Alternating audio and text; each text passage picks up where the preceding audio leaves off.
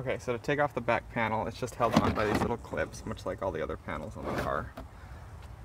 That's what it looks like without the panel on. Uh, basically, you can get something underneath there to pry it off. I know they have special instruments, but I basically just grab and pull, and typically it comes off no problem. But one of the times I did break the clips, but if necessary, you can replace them on Amazon for only a couple dollars.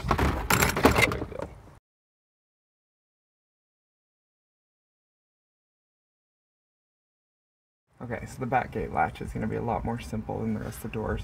You're going to unhook this, which is uh, the locking mechanism. We're going to undo this right here, which is the latch release mechanism. And then there's two power cords. There's a green one here, and there's, I believe it's yellow back here. Just connect both of those, and then come around here, undo these two bolts, and that should take the whole mechanism off. So getting it off is pretty straightforward, but in case you get to this point, you have to pop out that little knob to get this piece off. On this one side, there's just a little tiny tab right there. Just pushed in, it slides off. It's hard to see in case you have trouble. And then the whole thing should come out once you have those two screws off. Two power supplies and the two lines. There you go. Okay, so I have the whole assembly dangling here by the cable that's attached to the handle because I wanted to demonstrate how to take that cable on and off, okay? So it sits like that usually when it's up in there. So what you have to do to get it off is you line it up like this, and then it still doesn't slide off. What you have to do is push it that way. So I'm gonna do it one-handed. And then it comes off. And then you put it back on the same way.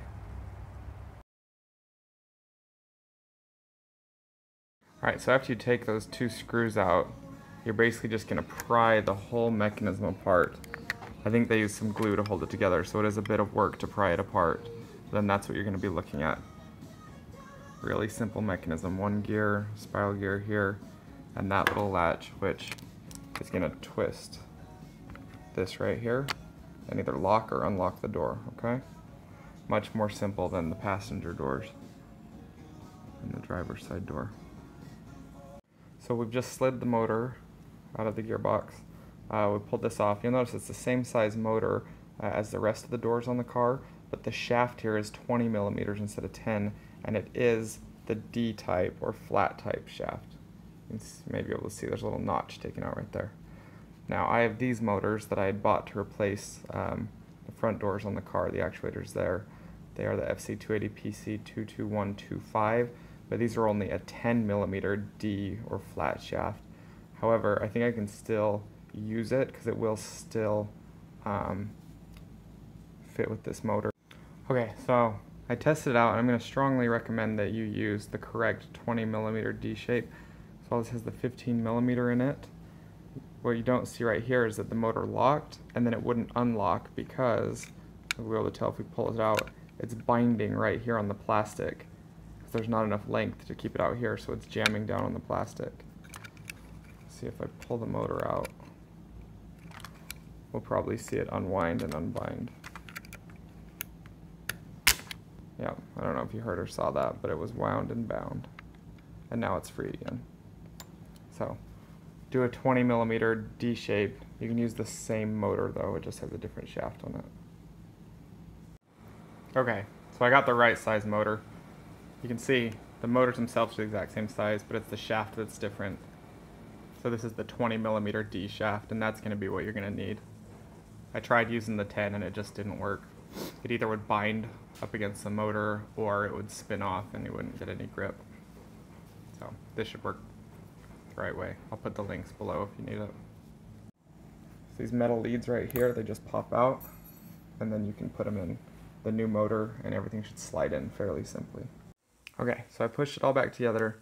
I got those two screws put back in and it's holding it pretty well. So even though there may have been some adhesive holding it together before, it feels pretty secure now. Uh, the only problem I had was this spring popped off.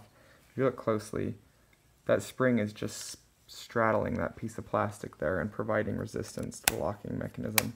Very easy to just put back on. You just slide it between that plastic piece and pop it back on here. And it works with no problems. The other thing I noticed that could be a problem is if you don't put this little knob back in this channel here so that it actuates in this manner.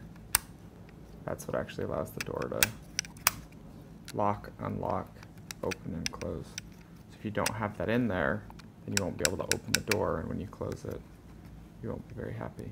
So make sure the knob is inside this channel when you put everything back together. Okay, so once you're all done, if you want to test it out, you can plug in the green cable. Don't plug in the white one, so when you plug in the white one, it can tell the door's open. With it unplugged, it thinks the door's closed, and then the locking mechanism will work. You can test it just to make sure it articulates like it's supposed to. There you go.